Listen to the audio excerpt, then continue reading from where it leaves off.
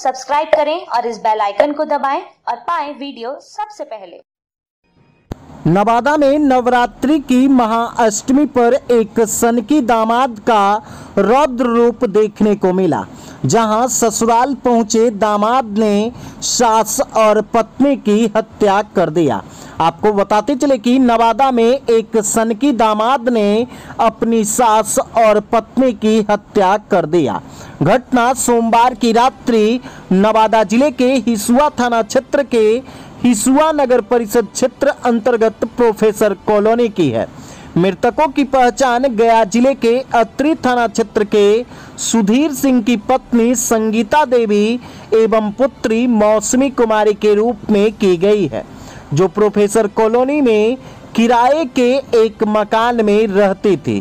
वहीं पुलिस ने घटना की सूचना पर घटनास्थल पर पहुंचकर सबको अपने कब्जे में ले लिया। आरोपित दामाद नवादा ज़िले के अकबरपुर थाना क्षेत्र अंतर्गत पहाड़पुर गाँव निवासी विनोद सिंह का पुत्र शुभम कुमार बताया गया है।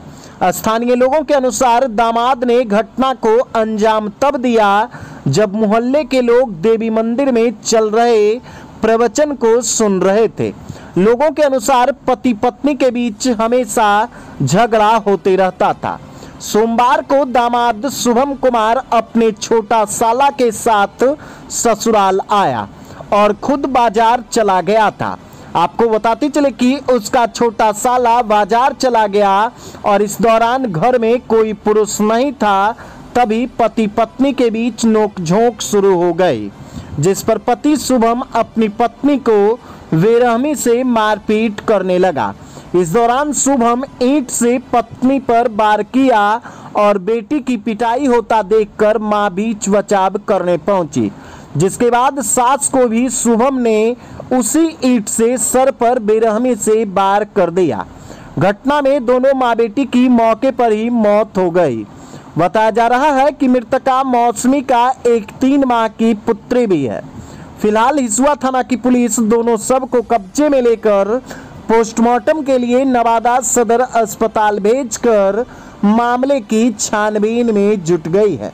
तो बड़ी खबर नवादा से है, जहाँ नवादा ज़िले के हिसुआ थाना क्षेत्र अंतर्गत प्रोफेसर कॉलोनी में एक सनकी दामाद ने अपने सास और पत्नी की हत्या कर दिया। दोस्तों, सब्सक्राइब करें और इस बेल आइकन को दबाएँ और पाएँ वीडियो सबसे पहले।